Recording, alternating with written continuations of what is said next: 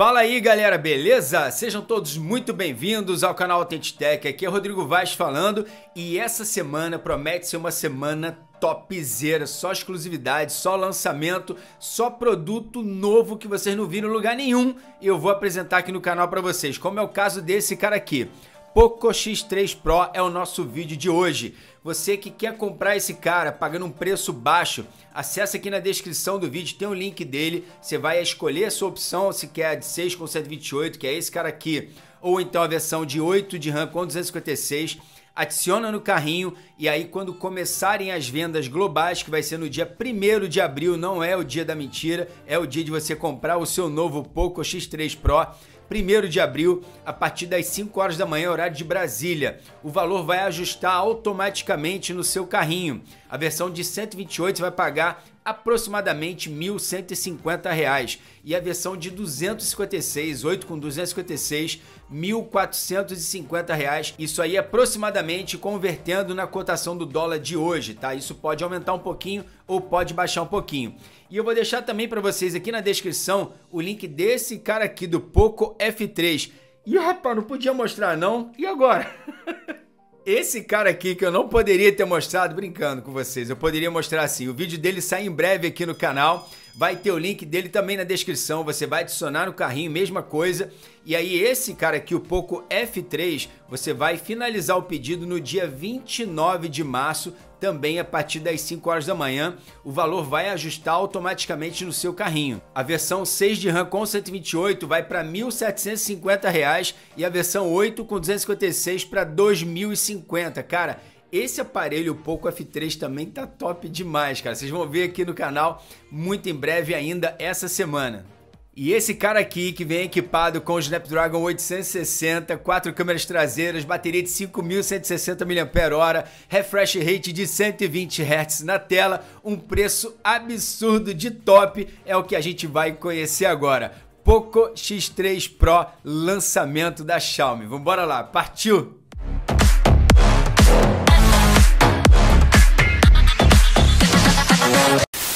Tá na mão, galera, um dos primeiros do mundo a receber esse monstrinho aqui, o Poco X3 Pro.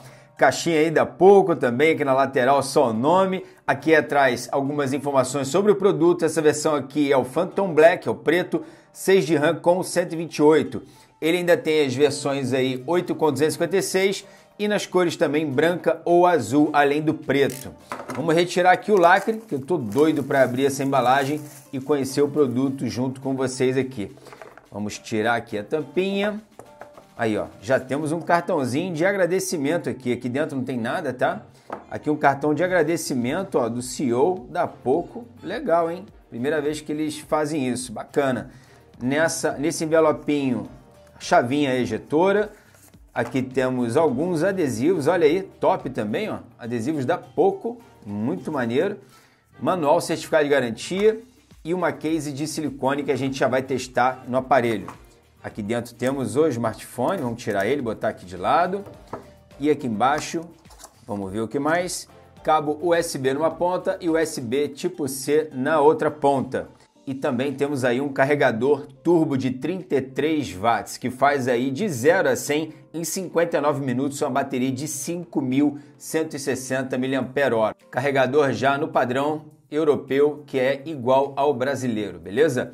Somente isso que vem aqui na caixinha. Vamos guardar tudo para a gente pegar o aparelho. E tá aqui na mão o monstrinho, galera. Processador Snapdragon 860 de 7 nanômetros rodando aí num clock máximo de 2.96 GHz, que é muito rápido. Uma tela de 6.67 polegadas LCD Full HD Plus de 120 Hz de refresh rate, uma memória UFS 3.1, dual speakers que é som estéreo e NFC também, e uma bateria de 5160 mAh que eu já falei para vocês com resfriamento líquido interno, beleza? Vamos retirar aqui esse lacre sem danificar também, vamos lá, para a gente dar uma olhada aqui no aparelho. E tá aqui na mão, galera. Vamos dar uma olhada aqui no smartphone. Nessa lateral esquerda temos a gavetinha.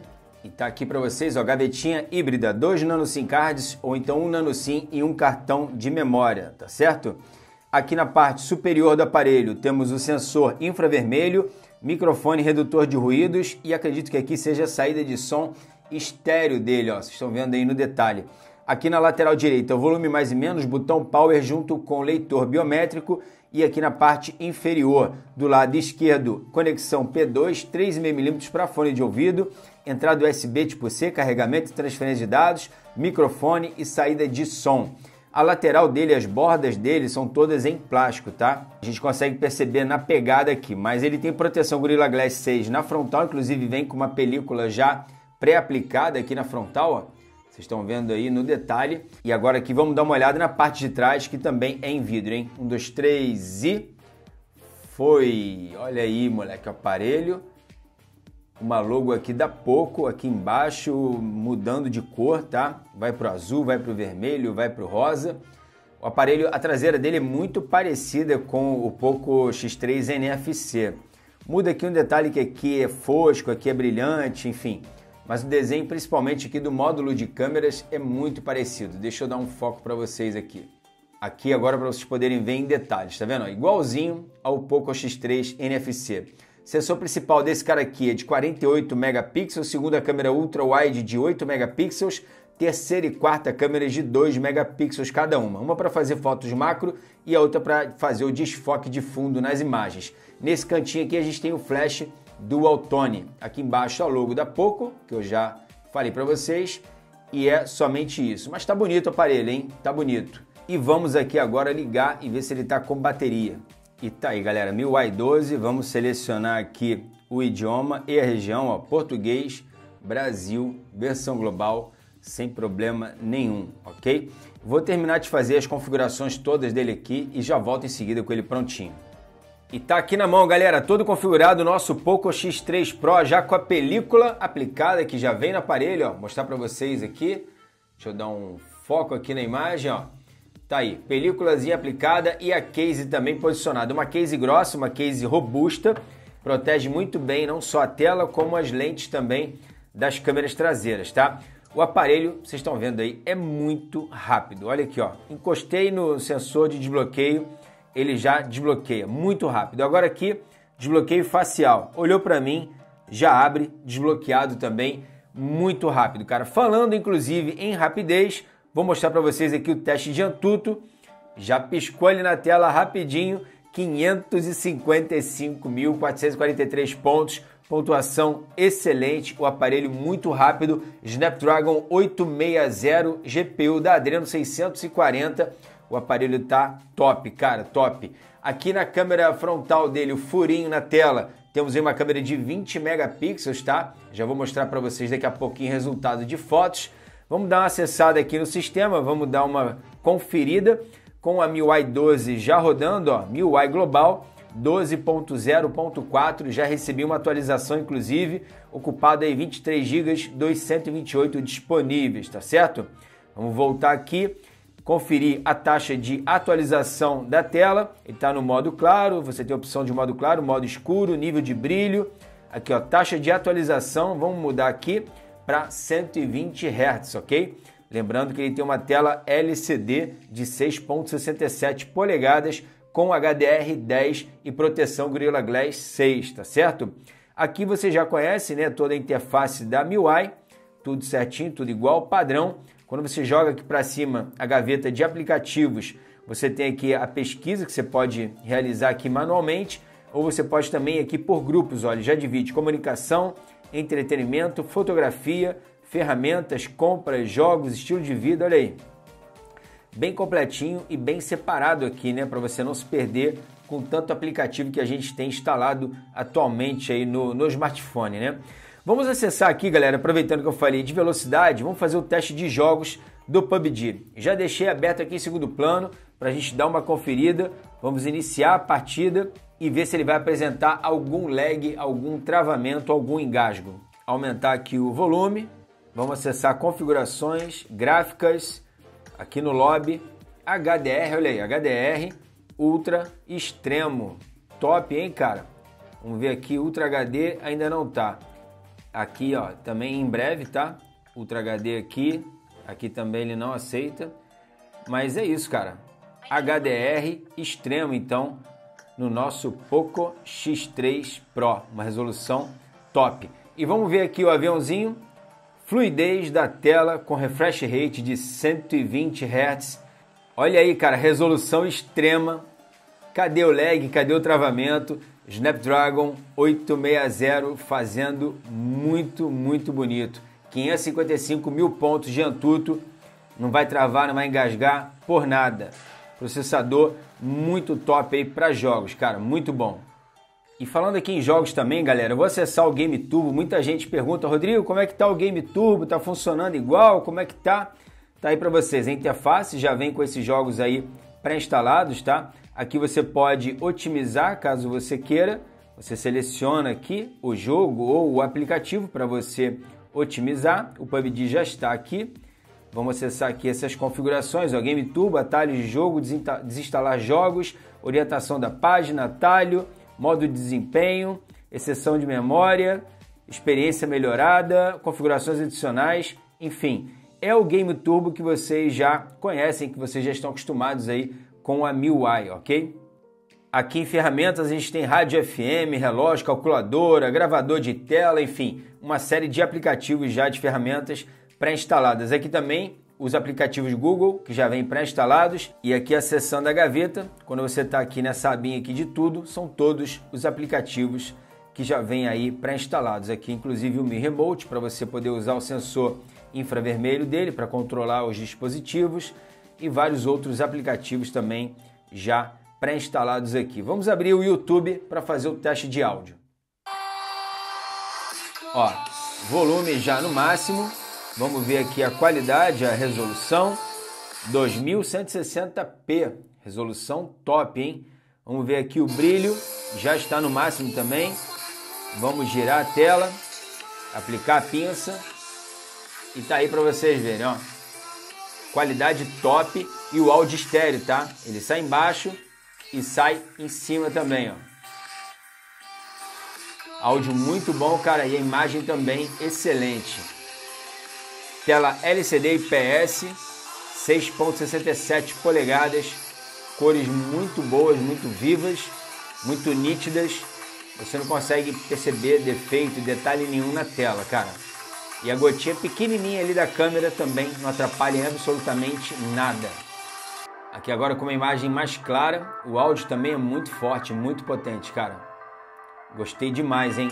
Muito top.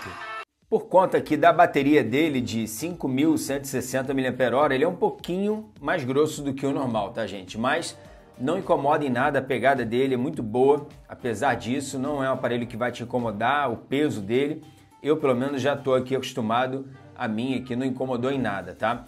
E vamos aqui agora abrir o aplicativo de câmeras para vocês darem uma olhada, tá gente? Aqui temos o modo Pro, modo vídeo, que você faz aí com o wide angle, ou então com o zoom máximo de até 6x para vídeos, ok? Aqui fotos mesma coisa, wide angle e o zoom máximo aqui de 10x para fotos.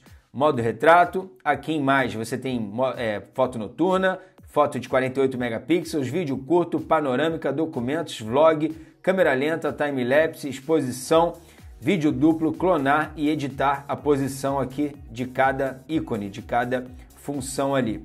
Acessando aqui esse menu, você tem o tamanho da imagem, você tem o timer também, e aqui em configurações, o, se você quer colocar grade aqui de referência, aqui a foto macro você aciona por aqui também. É um software aí também igual de todos os outros que a gente já conhece, está acostumado a ver aqui no canal. Vamos rodar aqui algumas fotos e vídeos e volto em seguida para a gente finalizar o vídeo.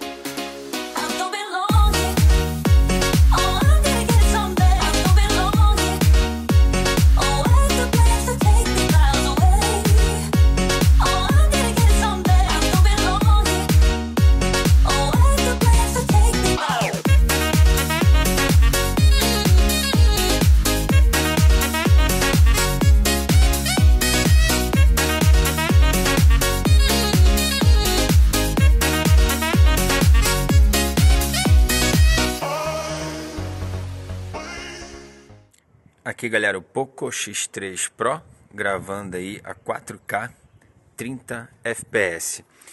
A gente consegue chamar aqui na wide? Não, somente aplica o zoom. Pronto, zoom a gente consegue. O white tem que parar para poder mudar. O zoom máximo de 6x com uma estabilização aqui, ok? Estou segurando com as minhas duas mãos aqui o aparelho. Vamos fazer um teste aqui. Estabilização. Pro outro lado. Pronto, estabilizou legal. Estabilização boa do aparelho, hein? Vamos mudar aqui agora. Agora com a estabilização ativada, 1080, 30 fps, ok? Vamos correr aqui. Pronto aí. Outra coisa, né? Estabilização monstro. Muito bom. Vamos ver se a gente consegue dar o zoom. Não. Com a estabilização aplicada não dá zoom. Aqui agora, galera, ó, resolução máxima da câmera frontal do Poco X3 NFC, 1080 30 fps, ok? Uma corridinha aqui para vocês verem a estabilização. Aproveitar esse dia lindo, que não é sempre, né? A gente consegue ter um sol desse aí. Maravilha, vamos ver aqui o HDR. Trabalha bem também, ó. Bacana. Agora afastei um pouco mais aqui do meu rosto. Trabalhando legal, olha lá. Muito bom. Muito e aí, bom. galera, curtiram o Poco X3 Pro? O que, vocês acharam? Comentem aí embaixo. Eu achei o aparelho top, cara. Aparelho tá uma máquina, o processador dele é monstro. Esse Snapdragon 860 tá destruindo. Aparelho muito rápido, bateria top, câmeras também gostei demais, câmeras muito boas. Processamento dele tá insano, o aparelho tá muito veloz. E o melhor de tudo desse aparelho aqui é o preço, né, galera? O preço está valendo muito a pena. É um aparelho super atual, processador de top de linha, muito rápido, o design dele também super moderno, câmeras muito boas. Enfim, no resumo, eu indico sim a compra do Poco X3 Pro. O aparelho tá top demais, cara. Mas foi isso. Espero que vocês tenham gostado do vídeo. Deixe aquele like, se inscreva no canal e compartilhe também esse vídeo para que todo mundo possa conhecer esse lançamento, essa belezinha, o Poco X3 Pro da Xiaomi. Muito obrigado, galera. Tamo junto. Fiquem todos com Deus. Um forte abraço e até a próxima. Valeu. Fui.